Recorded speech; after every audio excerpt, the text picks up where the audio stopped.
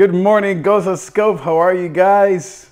Welcome to your daily Gozo Scope of the day. My name is David Trig, and I am a joy and anxiety coach helping people do three things discover their God given adventure, find grace amidst crisis, and discover who they love.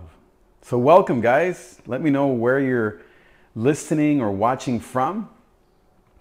Wherever you may be, welcome. Be sure to also uh, share this uh, GozoCast with your friends, this Gozo Scope. The way you do that is you just simply go from left to right on your screen, and then your kind of dashboard will come up, and you can share this Gozo Scope with your friends, with your followers on Twitter, on Facebook. How do you discover your purpose in life? It's pretty simple. Unfortunately, I think that all of us, myself included, struggle with this question.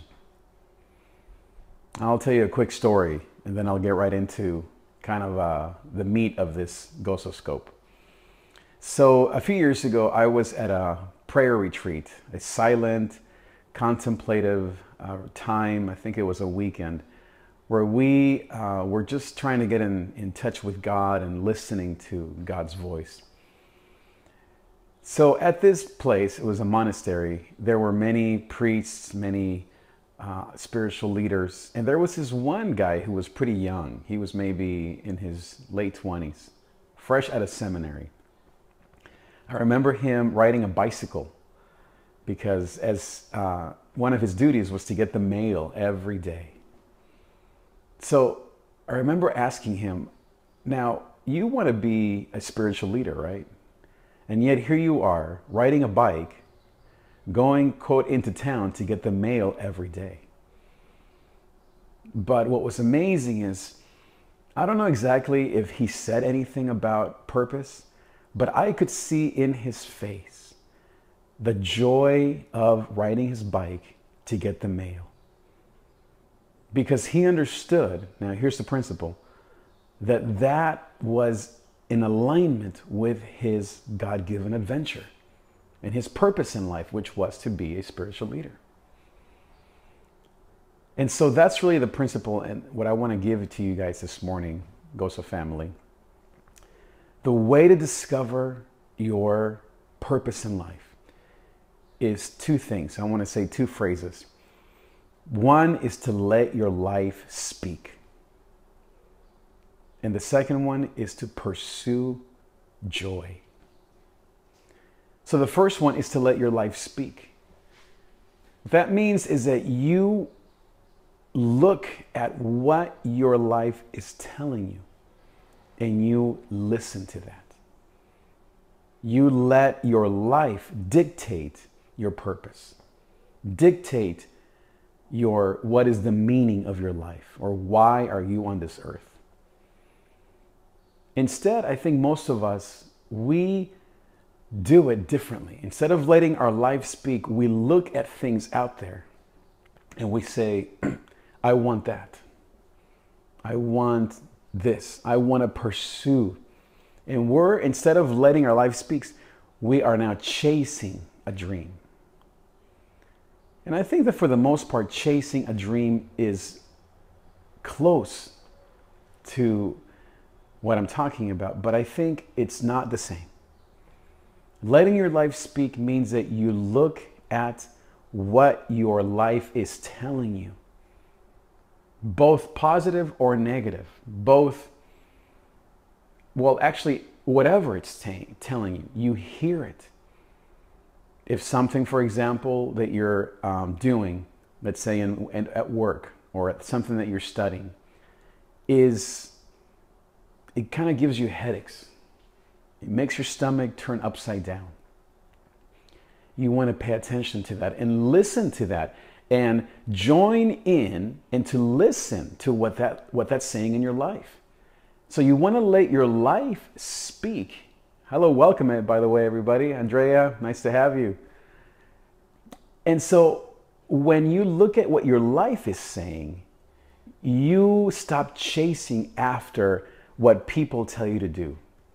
And instead, you let what's going on inside of your life lead you forward. It's a whole different way of looking at purpose. Instead of chasing after a dream, you're actually just chasing what's inside of you, what your life is saying about who you are. And the way that happens is through both, po- through both positive and negative experiences. Let's say you had a negative experience a year ago in relationships, in business, at work. Let your life speak and tell you, I think that's not what I'm supposed to be doing. On the, opposite, on, the, on the other hand, you maybe got involved in a certain nonprofit, and maybe it was just for a week or two weeks, but your life spoke joy. You had such an awareness of yourself. You felt connected, integrated, aligned with who you really are. Let your life speak. Make a mental note of that. And then the second way to describe how to find your purpose in life is to chase joy, to pursue joy. And that to me is the, the best one, the best way I can describe it. I'll tell you another story. When our son, he's now 12, when he was maybe six or seven years old, he got in uh, a basketball league. It was his first basketball league uh, ever. He was, he was, that was his first team. And at that age, children, because obviously they're so young, they are filled with joy. I remember the coach telling them during practice that if they wanted to get the ball, they had to put their hand up in the middle of the game so that the guy with the ball would pass it to him. To him.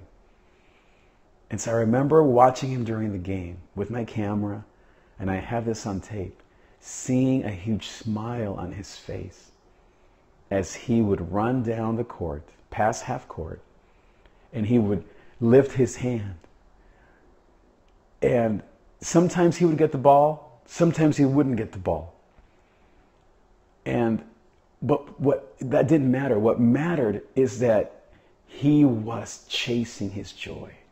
He was living out of his joy. He couldn't help it. He simply was just connecting all these things in his heart and his mind. He wanted to shoot the ball. He loved basketball. And so he was putting his hand up with a smile on his face. And that is what pursuing joy is is about.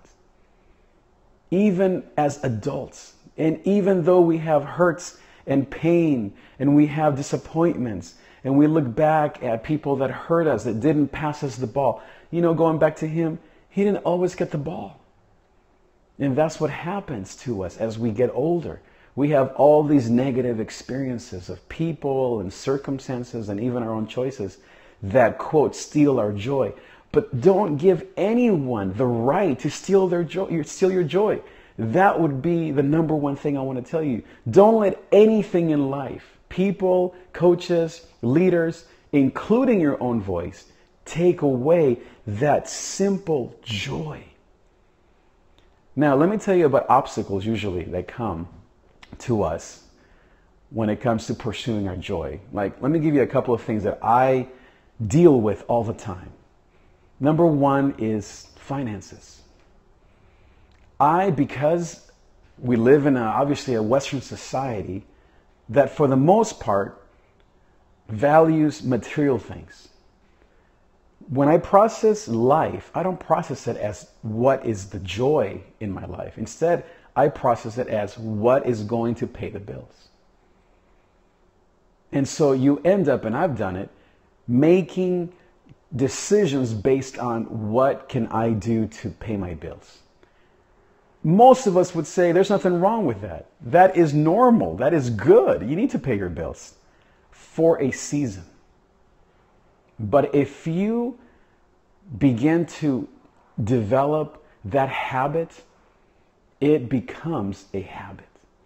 Make sure that if you've done that in the past, that you don't do it over and over again Find a way to pay your bills, even if it's half of your current income. This is what I call the overlap principle, and I can talk more about this at a different scope. The overlap principle means that if you're now at a place where you're tired of your life, you're tired of just doing what other people tell you to do, and you're realizing that the joy that is in you is, is way back there now. You can't even find it anymore. You need to consider the overlap principle, which means that you find a job that even if it's half of your current income, even if you have to move in with a friend or two or three and live more simply, it pays you half, but just enough to pay your bills. Make do a simple budget, but it gives you the time to develop and most of all get in touch with the joys in your life. That's the overlap principle. And so chasing your joy is without a doubt the way to find your purpose in life. So, two things again in summary let your life speak. What is my life saying? As I go through life, the ups and downs of life, the different seasons as a young adult, as a young parent, what is my life saying about myself? And it's such a different way to look at it, guys. It's not what do people say. It's not what do my leaders say. It's not what do my negative thoughts say. It's what does my life say? Let your life speak. So for me, my life since day one, probably since even before I was born, was saying, sing, heal, encourage, church, God, lead and my guess is those five or six can even be distilled down to one or two things. Basically, God and people. So now, every any time that I think, what, what should I do with my life? I go back to what my life has been saying for years. And then second, chase your joy. What's my joy? It's the same things. Music, God, church, helping people. And that is my joy. And you know what? When we focus on our joy, abundance comes. Your bills will be paid. You will see other people affirm that. You will see people join your cause because they they see it so much clearer than we do. They see those things that we are wrestling with, that we battle with every day. They see it so easily.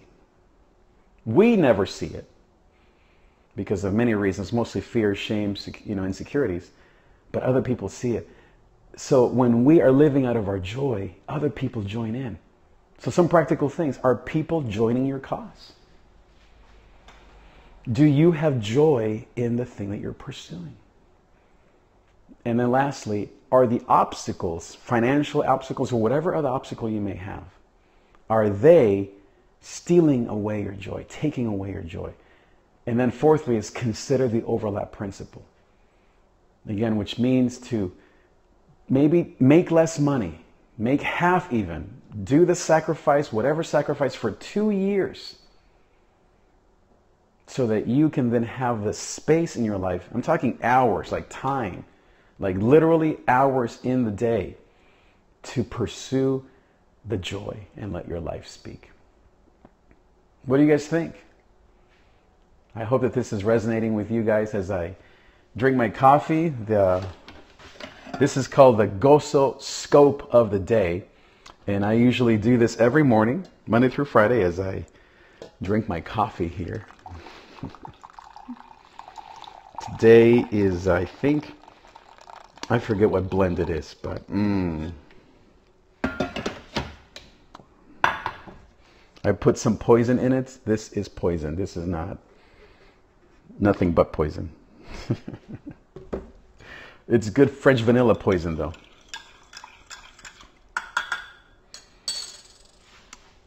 Thank you so much, Gozo family, for being here. I hope that you are enjoying these Gozo scopes. Give me some hearts, some love. Remember to share this scope with your friends. The way you do that is you simply uh, just swipe on the screen left to right, and you, sh- you can share this scope with your friends. Even though we're small, but I am convinced that this scope will grow the more and more that we get together and that we interact about these very important issues. Mm, very good. Okay, guys, thanks so much for being here. We'll talk soon.